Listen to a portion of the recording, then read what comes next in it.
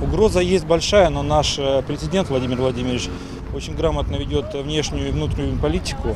И эта угроза сводится к минимуму. Но в любом случае ему необходима поддержка российского народа. Если вы обратили внимание, после выхода э, бессмертного полка на, на Красную площадь, да, во главе полка шел Владимир Владимирович один, без правительства, без э, его заместителей. Это означало, что Владимир Владимирович ведет народ к победе.